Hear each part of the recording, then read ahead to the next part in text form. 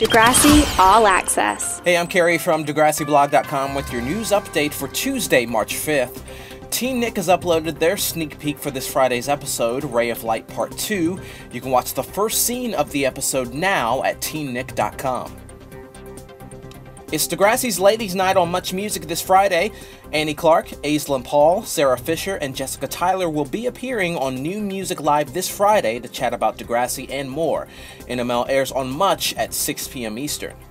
And now I want to wish a happy birthday to the lovely Aislinn Paul, who plays Claire Edwards on the show. Aislinn turns 19 today. Tomorrow, Luke Bilyk will take over Degrassi Digital starting at 1 p.m. Eastern. He'll be live on Degrassi's Twitter, Facebook, Google, and Tumblr pages. But until then, check out this funny video of Abby Ho wearing Drew's golden onesie from the Las Vegas episode. You can see the full video at Degrassi's YouTube page.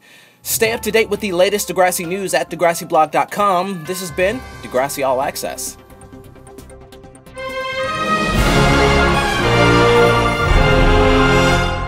Get the latest Degrassi news, gossip, and more at DegrassiBlog.com.